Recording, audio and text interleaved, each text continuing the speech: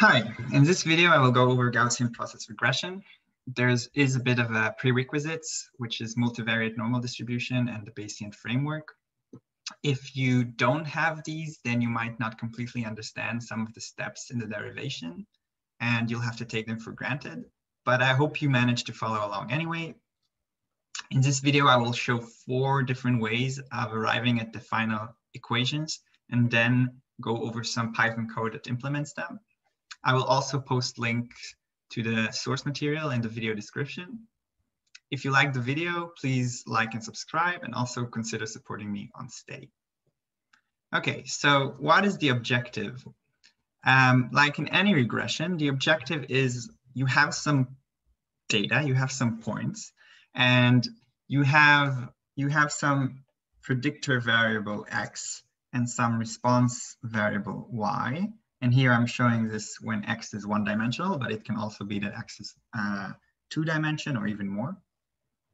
And you have some points that you know, okay, but there are you are trying to find uh, a structure. You're trying to find uh, a function that fits these points.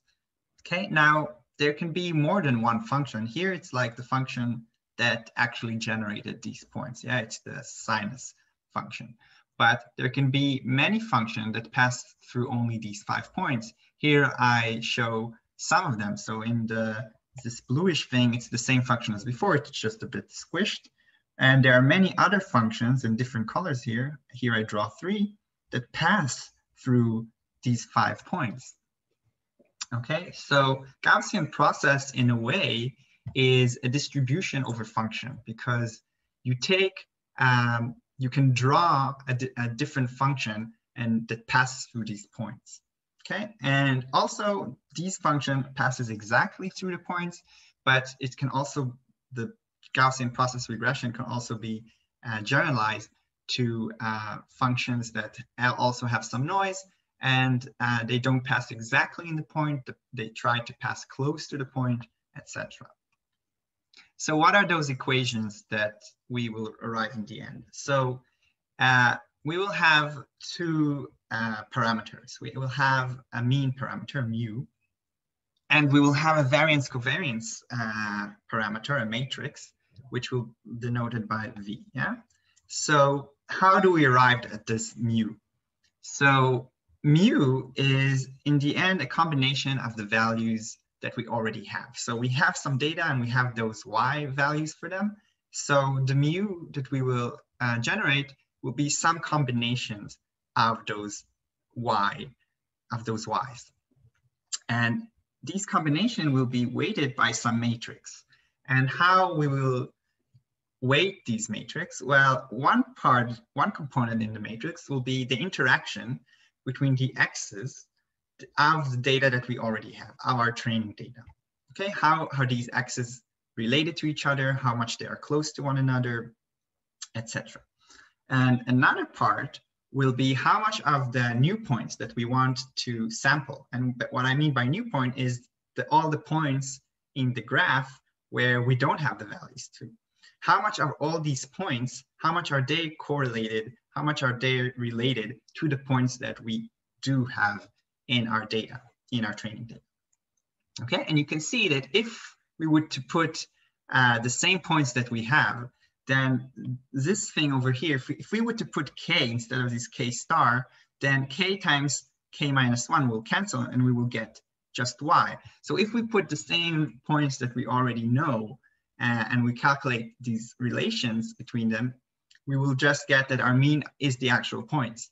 In that respect, uh, all of our functions that we will uh, draw will have to pass through the points because if we give the same point, if we give the same points as our training data points, then we will get exactly the y's. And also what will happen here in the variance, if I replace uh, k star and k double star with k, I will get zero here, okay? Because they will the k minus one uh, times k will cancel, and here we will get k minus k and we'll get zero.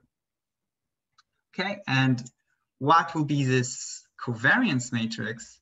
Well, it will be some covariance matrix that captures the relations between the new points and themselves, minus some covariance matrix that captures the relation between the new points and the old points.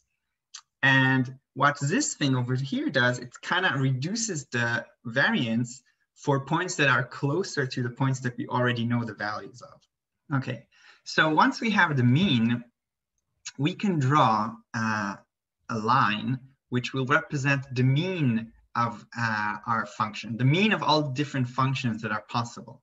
And the variance, well, we can take for each point a certain uh, uh, its standard deviation.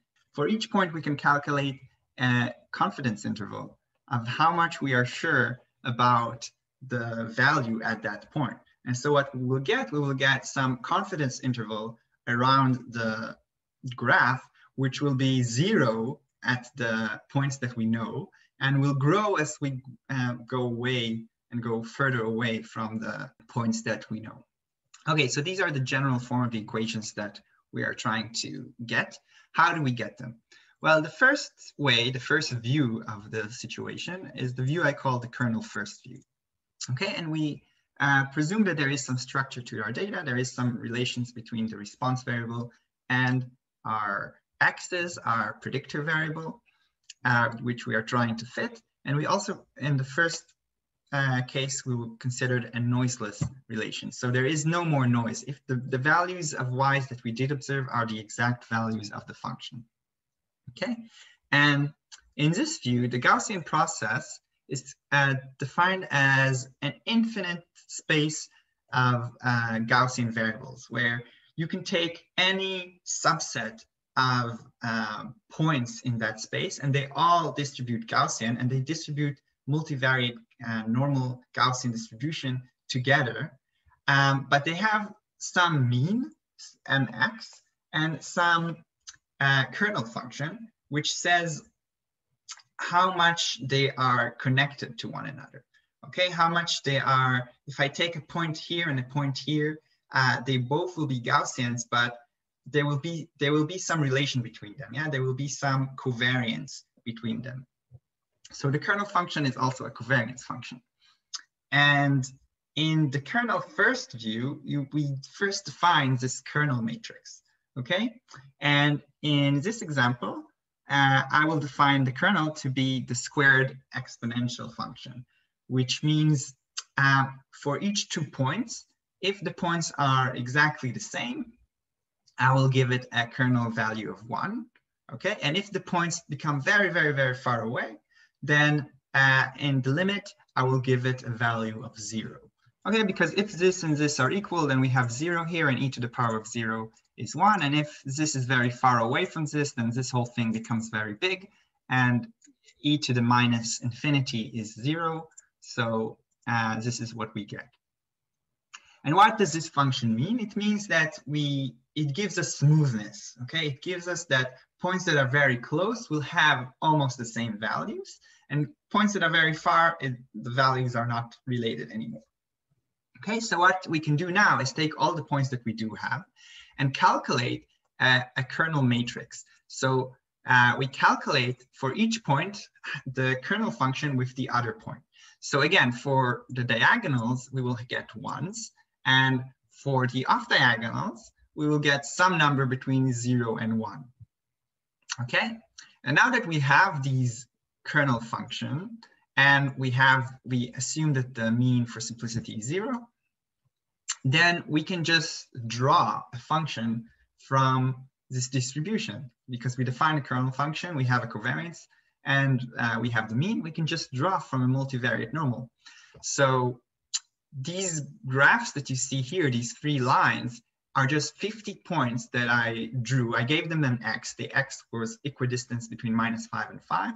And I computed for each x the kernel, the uh, covariance matrix, and then I drew from a 50 dimension multivariate normal distribution and I got the uh, y values. But because uh, the covariance matrix made a smooth relation between them, you can see that if I plot these y values corresponding to the x values, you get a smooth function, okay? Because if I am in this point over here, then the next point, which is close to me, can't be far away from me in the y values. It can't be here. Okay, it has to be somewhere close to here. Okay, so this is what the covariance function, as we define it with this uh, kernel, gives us. It gives us this smoothness.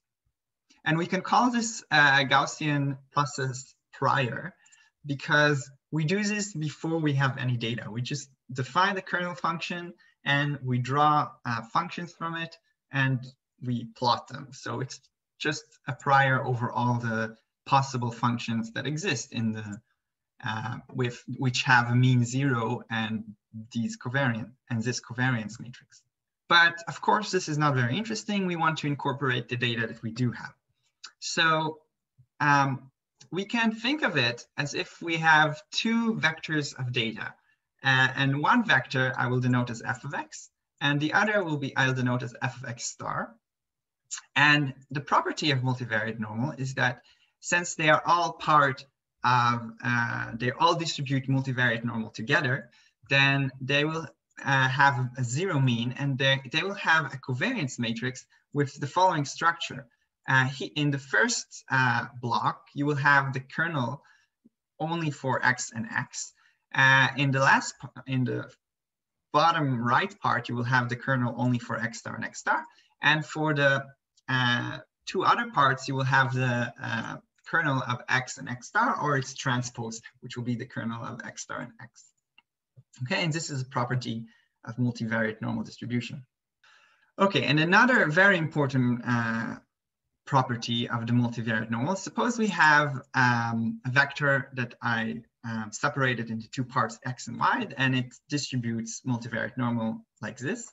Then the conditional distribution, the conditional meaning the y, given that I already know what the x's are, will distribute multivariate normal with this thing over here. And I will post a link in the description that proves it. But this is the this is the formula that we will use. So we have this general structure, but now suppose that I do know the values f of x, then our posterior, our uh, values of f of x star, given that I know f of x, will distribute according to this uh, um, equation, this formula, like this, okay? The, uh, if you just put zero instead of mu y and all the relevant parts, you will get this thing over here. Okay, so this is the equation we need in the case of the noiseless data. Okay, but what happens if we do want to add some noise? What if we say that the values that we see we observe of y's are not the actual value of the function. There is some noise that is added to it. Okay, so we can model it like this. We can say that f y is equal to f of x plus some noise. And the noise for, we can assume that it distributes normal with some sigma squared. Okay, and f is, uh, again, distributes normal with uh, some k covariance matrix. So what will be the sum? The sum will also be normal and it will distribute normal with uh, the same, uh, the sum of the mean. And because we also assume that the uh, sigma squared and f are independent, then the variance will be just k plus sigma squared i. Okay, so now how will our y and fx star distribute, say before we observe them? They will distribute like this, okay? We just add this thing, okay? We just added this thing over here to the general uh, matrix that we had before. And now we do exactly the same thing. We calculate the posterior and the posterior will distributes like this, where for the f, I denoted f bar to be, um, to be this equation over here and v bar to be this equation over here. And notice that now, even if I take uh, the same points as before, I will not get exactly y because, because of this term over here, I will get something that is a bit different from y. And the same here, that I will, I will have some variance uh, even if I take the same points. And now once we have this, we can, um, first of all, we can plot the mean for our new data points. And the mean will be just the mean of all the possible function. And in this case, it doesn't have to pass exactly through the points, depending how big the sigma squared will be. If it's very small, it will pass close to the points. If If it's big, then it might pass far away from the points. Okay, um, and we can also again plot for each point uh, the confidence interval for that point and how much we are sure about it. Okay, so this was the kernel first view, and you can even generalize it a bit more. You can have that uh, the kernel has some, uh, I called it sigma squared var, var and some L here. Yeah, so for example, if L is uh, very small, then the uh, relations between X uh, disappears very quickly. Okay, we if um, you go just a little bit further, then it's already that you are, um, there is almost no connection between the two x's. But if L is very big, then the uh, relation is uh, stronger also for bigger distances. And we will see this in the code also. Okay, so this was the um, kernel view.